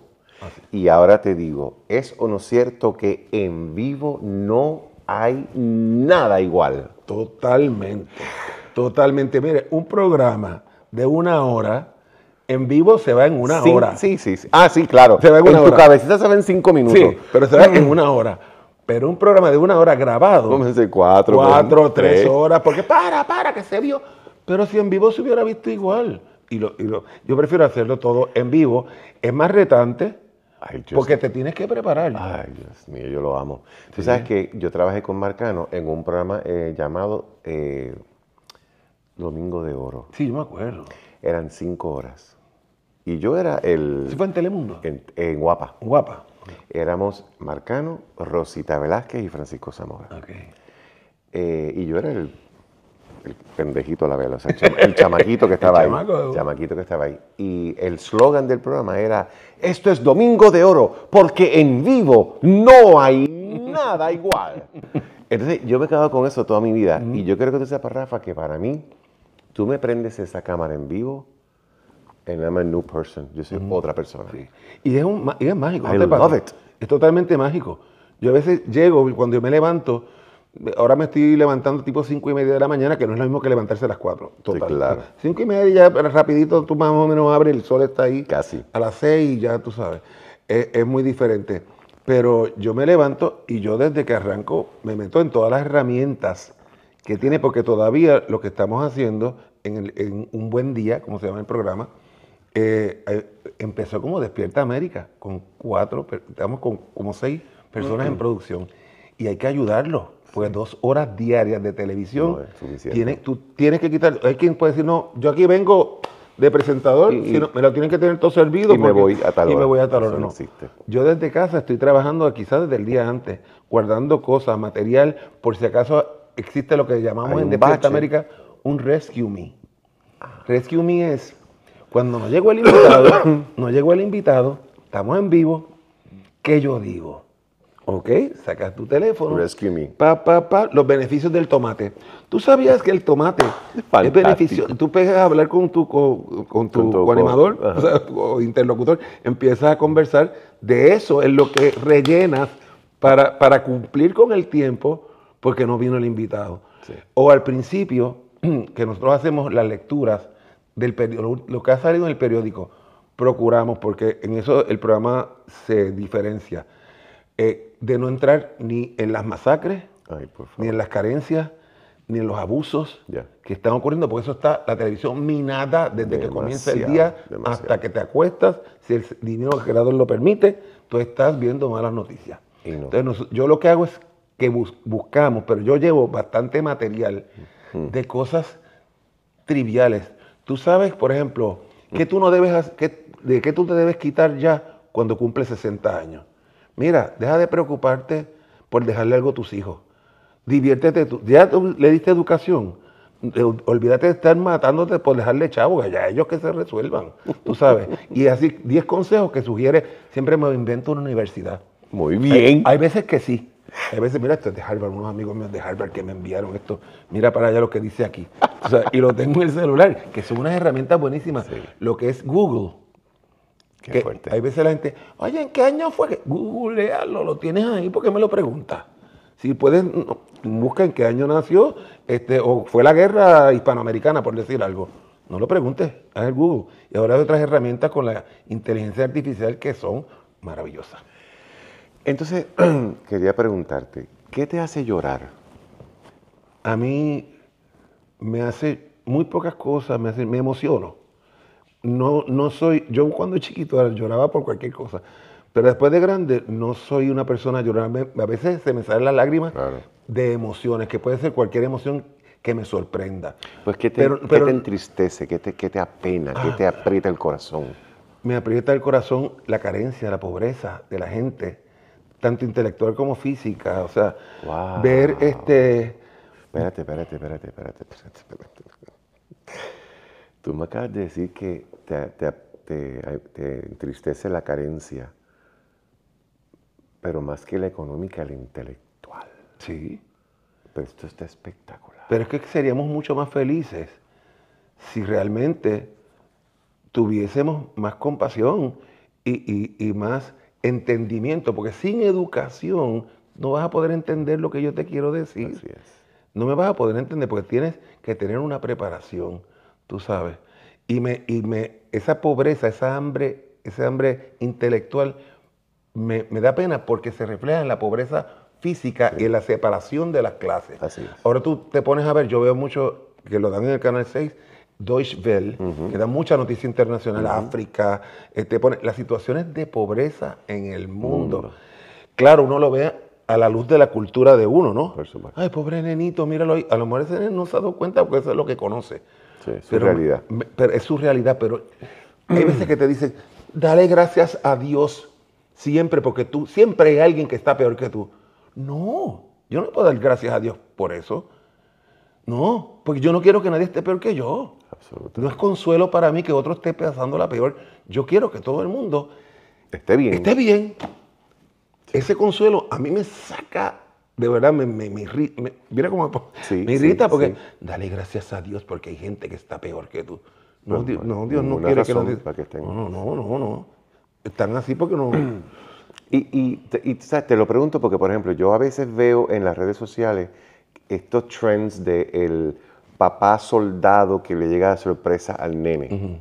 Y yo me empiezo a llorar como una Magdalena. y, y, aquel nene corre y le cae encima a la mamá que es soldado y empieza a llorar. Y yo, los ojos aguados y los pelos parados. Y por eso te preguntaba, ¿no? ¿Qué, qué, qué te apretaba? A, a mí me da alegría. Ese tipo de cosas. Me emociona, me emociona, obviamente. Claro. No, me saca lágrimas, pero, sí me emociona. Este, eh, por, por, eso, por la alegría que ese niño estaba careciendo de ese papá y de momento le ah, llega. Eso es una cosa preciosa. ¿Y, qué te saca una carcajada? Muchas cosas. Pensamientos míos. Yo me río conmigo. ¿Sí? Sí. ¿Y tú hablas contigo solo? Todo el tiempo. ¿Y solo? Solo. ¿Y qué te dices? De todo. Dime un ejemplo. Bueno, discuto, ahora mismo estoy discutiendo conmigo el, que estoy viejo, que soy un hombre viejo, un hombre mayor, yo cumplí 69 años. Dame, dame un ejemplo de una discusión. Pues yo digo, porque sabes que te queda menos tiempo de vida que de lo que has vivido ya, ¿verdad? Y que ya aquello de que, ah, de aquí a 20 años, ¿qué 20 años tengo? Con el favor de Dios, de aquí a 20 años, tú sabes. Y esa discusión de ese, de, ese eh, enfrentarte a esa realidad natural, biológica, que nos ocurrirá a todos, pero todos le huimos a la discusión, la discuto conmigo mismo para llegar a conclusiones. ¿Por qué estás batallando mentalmente contra lo inevitable. Al contrario, utiliza estos años que te quedan. Y vívelos al máximo. Vívelo feliz. Mira para atrás, sé agradecido con todas las maravillas que te han pasado, buenas, malas, porque todos hemos pasado tristeza, sin sabores, traiciones de amigos, traiciones de gente que ama. Todo lo hemos pasado.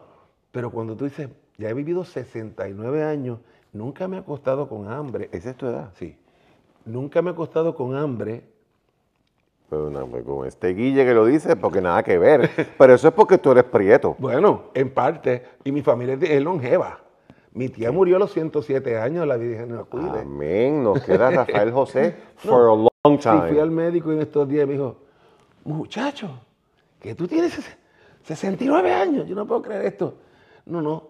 ¿Tú sabes qué? Te tengo una noticia tu expectativa de vida, tú vas a llegar fácil a los 95 para que te vayas enterando ya. Desde ahora. Si te cuidas. Y yo pienso en tratar, ¿sabes? De, mis discusiones no te preocupes tanto por lo que no puedes controlar. Tú sabes. Ay, Dios mío, qué difícil. Es difícil. Aprenderlo es más difícil. Y mirarte al espejo y ver que sí me parezco a mi papá cuando mi papá estaba viejo. Y ver a mi papá reflejado en mi cara. Y eso al principio choca. Pero después tienes que buscar una negociación contigo mismo, porque te, va, te da un poquito de depre. Me voy a morir. Sí, sí, ya estoy viejo como papá. Me voy a morir. Ahora, si te tiras a muerto, te mueres más temprano. Sí, eso no es una opción. Y yo pienso que, y hablo mucho de, de, cómo yo conceptualizo la vida. La vida es un, para mí la vida es un, es existencia. Porque no podemos decir, este, no la podemos definir. Tú puedes decir, no sabemos lo que va a pasar de aquí ahorita.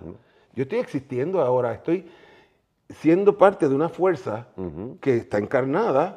Quizá esto es parte del proceso del espíritu eh, universal, que hay que pasar por, por esta experiencia de fe, porque la vida es un acto de fe. Si no tienes fe, no tienes que creer en Dios, es un, es un acto de fe. Tú crees en tu médico, tú crees que tu papá te quieren. ¿Tú crees que mañana vas a amanecer vivo? ¿Tú crees que ese carro no te va a dejar a pie nunca? ¿Tú tienes fe?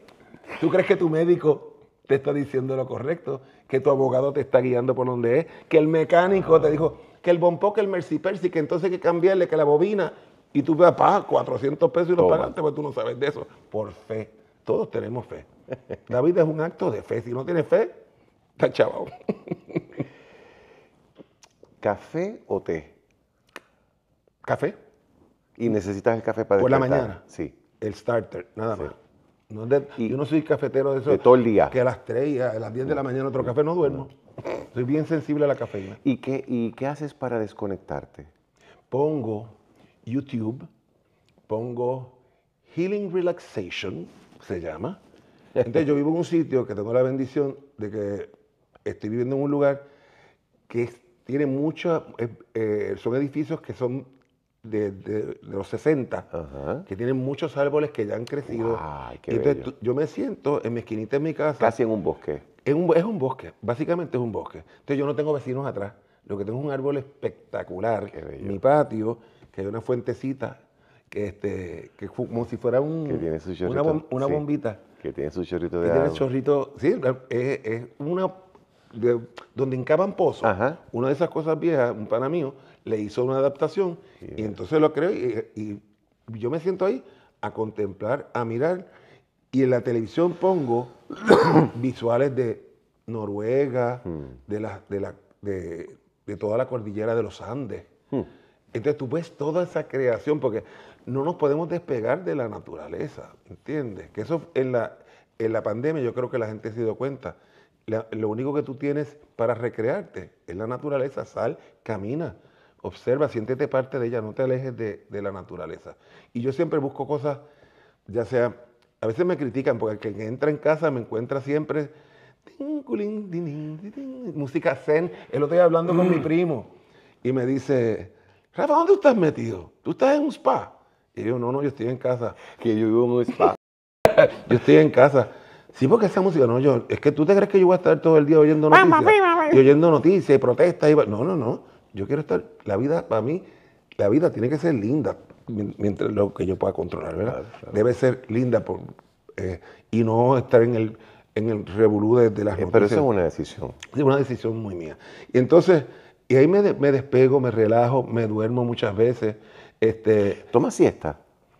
Ahora, ahora sin querer, porque estoy más viejo, me levanto ahora a las cinco y media de la mañana. Ya entonces hay veces que yo tengo un recliner, si mientras yo mantenga los pies en la tierra, ya estoy despierto. A la que hago y estos pies suben. Ah, buenas noches. Nos vemos sin darme cuenta. Entonces puede ser que esté una hora, hora y pico dormido. Pero antes no me ocurría, no puedo dormir de día. Amo la siesta. dicen que son súper uh, saludables. Pero yo, mis siestas son de dos horas y media. No, que como tú te levantas, nos damos riña después. De, lo que pasa es que, lo que pasa, si, si, si, son más de dos horas y media, si son tres, ya, la cosa cambia. Entre una hora y media y dos horas y media me funciona. Pero la realidad es que no puedo tomar siestas en la semana. Esto es sábado y domingo. Ah, bueno. Pero mi papá tomaba una siesta diaria, porque mi papá era bien disciplinado. Y él llegaba a casa, se quitaba su gama, su corbata, toda su ropa de, médico, jefe, de, eh, de director de hospital, se ponía la ropa más cómoda, más gasía que había, y una chancla, almorzaba, y entonces veía un poquito hasta que terminaba, qué sé yo, Don Cholito, de la época. Entonces se iba al cuarto, yo no sé cómo él lo hacía, él se iba y dormía una siesta de 10 minutos. Se levantaba, se aseaba, se ponía otra vez su cama y, se Pero podía dormir 10 minutos. Y dicen que una siesta, el máximo debe ser 20. Porque si entras ya en el sueño profundo, entonces ya, te está haciendo daño. Eh, ¿Cómo es que se llamaba tu colega en Despierta América, este, Arau? Eh, Fernando Arau. Fernando Arau. Eh, yo te voy a decir unos nombres y me gustaría que me des una palabra para esas personas. Fernando Arau. Buen compañero escénico. Giselle Blondet. Amada. Magali Carrasquillo. Cómplice. Juan Pablo Díaz, tu hijo. El amor. Y Rafael José Díaz. El nene de papi. Espectacular, espectacular. Rafa, te agradezco mucho. Ha sido, ha sido divina esta conversación. Sí, sí, sí, sí, Antes de despedirme, siempre le ofrezco a mis invitados que me hagan una pregunta a mí. Si tú me quieres hacer una pregunta. ¿Qué tú recuerdas de cuando yo te vi a ti por primera vez? Anda. Que fue, a ti yo te recuerdo en Bellas Artes, en creo que fue un show de Aguilda, que tu familia tenían un grupo. ¿Cómo era esa dinámica familiar? ¿Cuántos hermanos son? Seis. Seis hermanos, papá y mamá. Ocho. Y todos ustedes se ven sumamente felices. Sí. Pero en las familias todos tenemos nuestros pugilatos, nuestras cosas. Y no, tú no estás a tiempo nunca. ¿Cómo era esa dinámica eh, entre ustedes? Primero quiero que sepas que ese evento se llamó Desconcierto Infantil Apto para Mayores. Eh, me acuerdo de eso. Y ese fue el espectáculo que inauguró el Centro de Bellas Artes. Y la familia Zamora fuimos los invitados a ese espectáculo. Eh, ¿Por qué estábamos ahí todos sonriendo? Porque había, habían dos o tres eh, alemanes eh, que daban las instrucciones. Mi papá, mi mamá y Rina de Toledo. Ah, bueno. Era nuestra maestra de canto. Entonces era sí o sí. Entonces, de los seis hermanos, el único no obligado era yo. Todos los demás estaban obligados, pero no tenían opción. Era sí o sí. Eh, y te tengo que decir que ese es uno de los capítulos más importantes de mi vida profesional porque yo tengo este chorrito de voz, pero la técnica de Rina me ayudó a sacarle el máximo. Entonces, eh, eso fortaleció mi amor por la familia, el cantar con mis hermanos, porque nos decían que éramos los Von Trapp puertorriqueños. Eh, entonces, mi hermano Jorge Rafael, a quien yo le llevo 12 años, o si yo tengo 15 años, este tipo tiene 3, o 4, o 5. Entonces Jorge Rafael no cantaba. Le daban una guitarra de Donny and Marie, que obviamente no sonaba. Y entonces ponían a Jorge y Jorge hacía esto. What nada que ver, era parte del show. Pero yo veía como cada uno tenía un papel. Y entonces, claro, mami era la pura pasión y papi era el capitán Von Trapp. Sí. Eh, no tenía el bigote, pero como si lo hubiera tenido. de modo que eh, e, eso es una época bien cool de mi vida que obviamente fortalece el hombre que soy y por eso para mí la familia, y por eso si te fijas en nuestra conversación hemos hablado mucho de tu familia, de mamá, de papá, de tu hermano, porque eh, somos lo que somos por la familia que venimos. Eso funciona para lo bueno y para lo malo. Porque uno trae todo, uno trae todo, lo bueno y lo malo. Qué, qué fantástico que tú te acuerdas de eso. Sí. Qué fantástico. Es que para mí eh, fue... Pero tú te acuerdas porque, porque, porque nos viste sentados o porque estabas parte de la producción. No, no, yo, yo, fui al, show. Tú estabas en el público. Y, pero ustedes habían salido por televisión antes también. En el show de Chucho, y en el show de Nidia Caro, y en el show de Judy Judy, Gordon. también. ¿Quién no salió con Judy?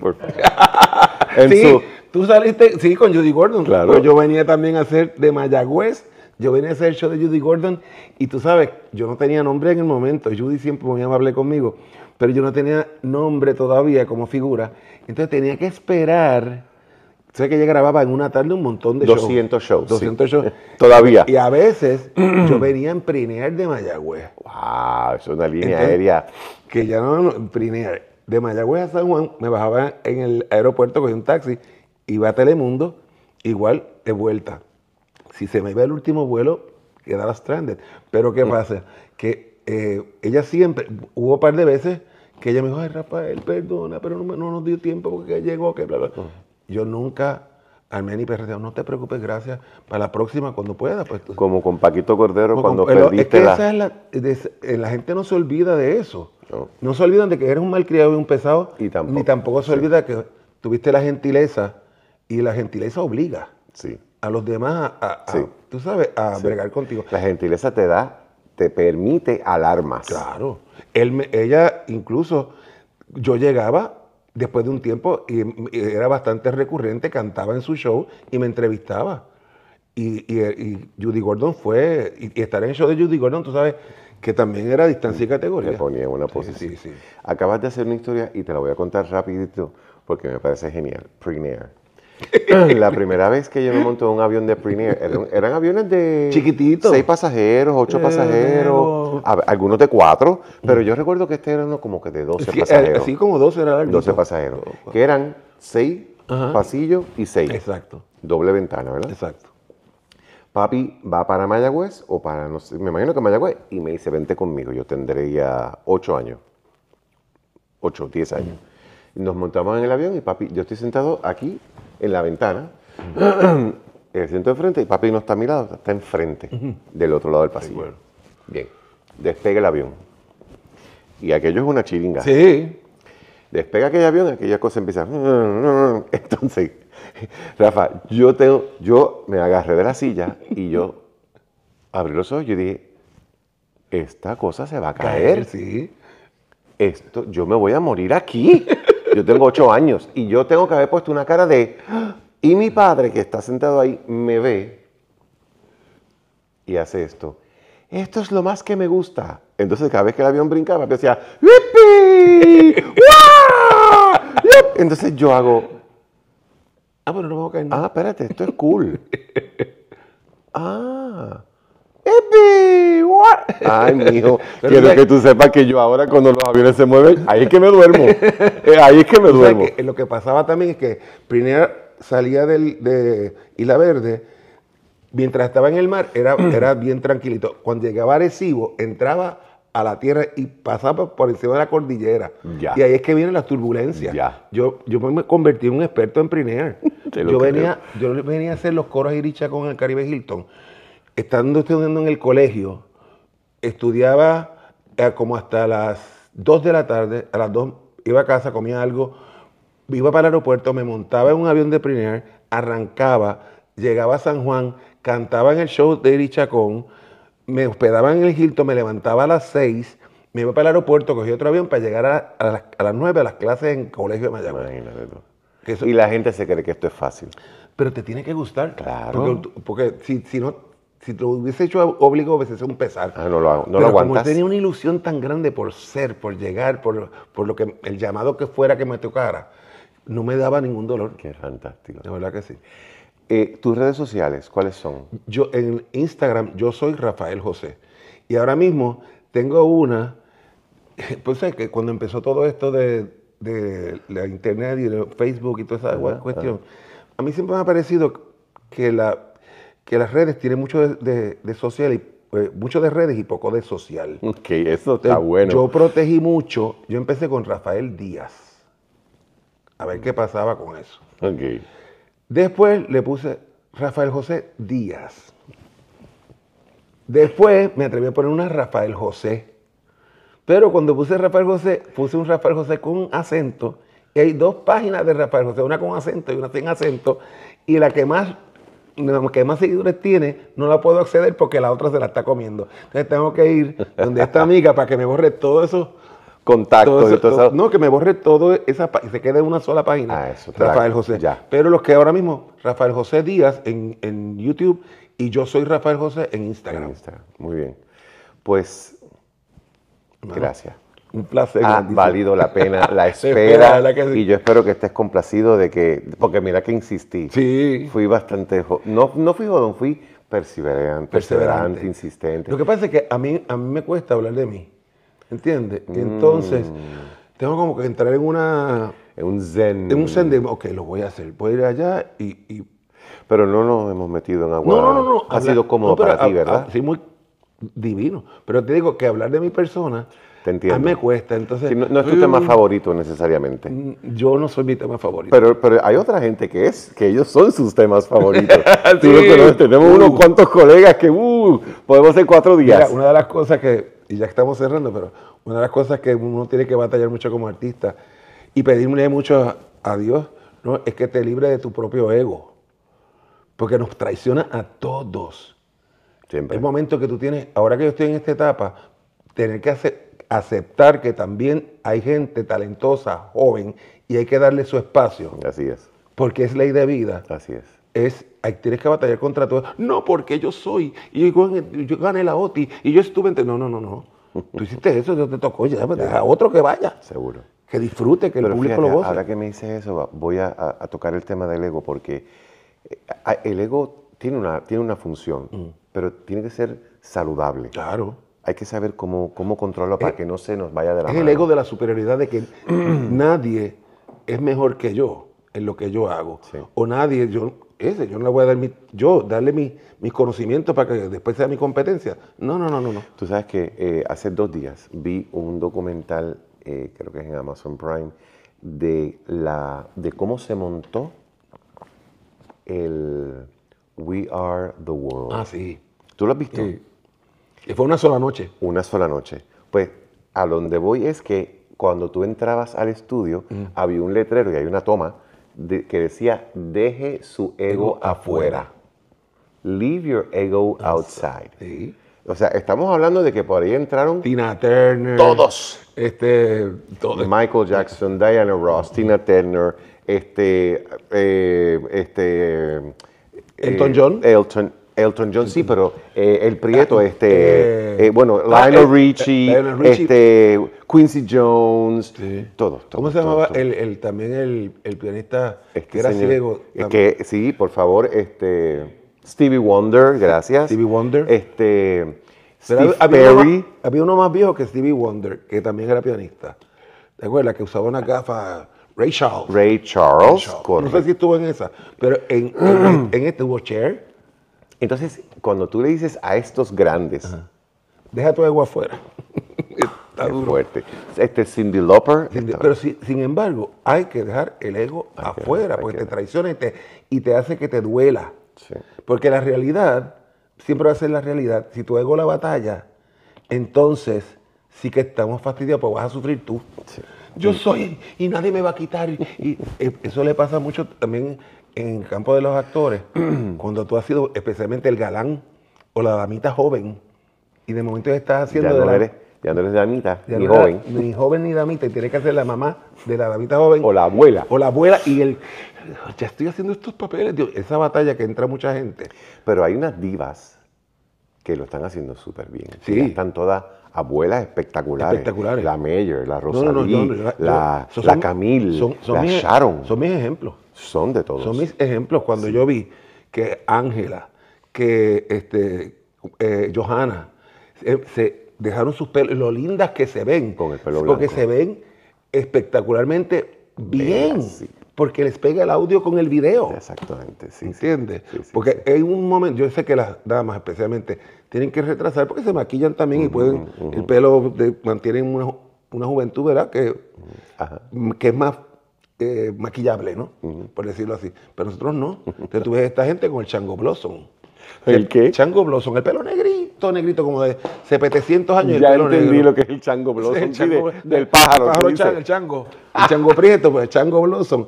Y entonces digo, no, señores, porque se está, usted no es ningún nene. Tú sabes, ya uno tiene que... No, no es que ponerse viejo sea un pecado, ni que, Dios mío, qué chavienda, ¿no? el cuerpo va cambiando, es un organismo que... y el mío me ha salido buenísimo. Yo no tengo quejas de él. yo hablo con mi cuerpo y, lo abrazo y yo, tú te, que te has votado conmigo, cabrón. te has votado porque no te enfermas. Y, y me he enfermado y he hecho negociaciones con mi cuerpo. Tienes que ir a trabajar. Ok. Vamos a hacer una cosa trabajamos, salimos y yo te prometo que cuando salgamos del programa, vamos a venir para acá, para casa. A descansar. Y vamos a descansar y yo te voy a dar agüita, te voy a dar lo que necesites, pero coopera tú conmigo. ¿Te hace caso? Qué fantástico. Te hace caso. Qué fantástico. Rafa, Si nos quedamos, estamos, cuatro, horas. Muy bien. Pero que se repita, quizá con otra, Con otros temas. Otros temas. Y filosofamos de la más. vida. Absolutamente. siempre agradecido. Te deseo muchas cosas buenas. A ustedes siempre le agradecemos su sintonía. Siempre leemos sus comentarios. Así que déjenos saber qué les ha parecido esta conversación. Quiero mandarle saludos a Lisette, la hermana de Linet que ve el podcast, que te sigue. Así que, pues, saludos Lisette, saludos Lisette. Eh, y a todos los demás, como siempre, nos vemos en la próxima. Muchas gracias.